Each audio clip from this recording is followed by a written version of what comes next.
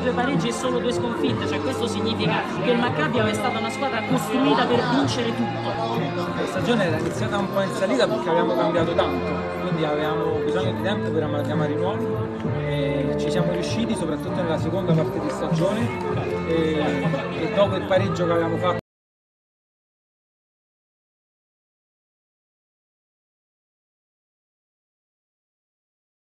Veramente stracontenti, questa è una squadra che, che, che, negli ultimi due anni veramente ha fatto cose, cose eccezionali. E, e, queste due coppe in un'unica serata è, è, il culmine, però sia chiaro non, non ci fermiamo, quindi le prossime due partite ne vogliamo fare 50 punti in campionato. Però poi non, non, ci sarà Alba Adriatica perché non andrete, ci sarà però Cervia.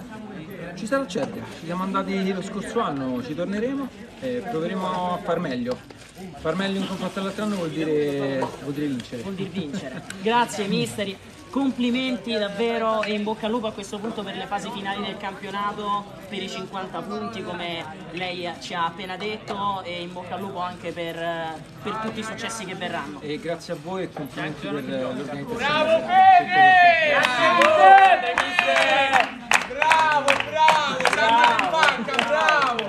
bravo. No, Samu, Federico! Non so se siamo sempre in diretta, cari amici di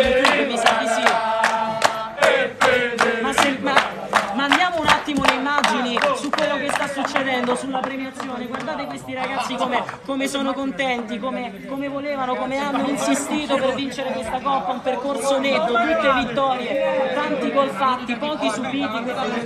Costruita per vincere, come avevamo detto anche in fase di intervista poco fa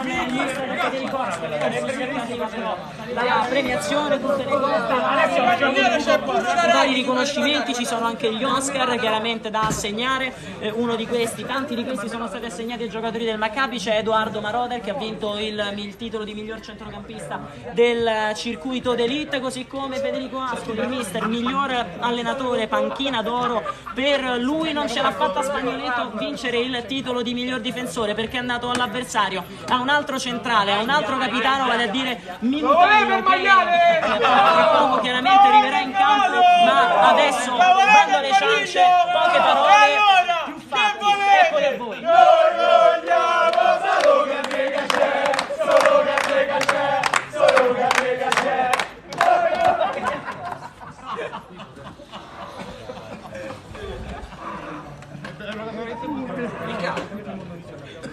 In diretta.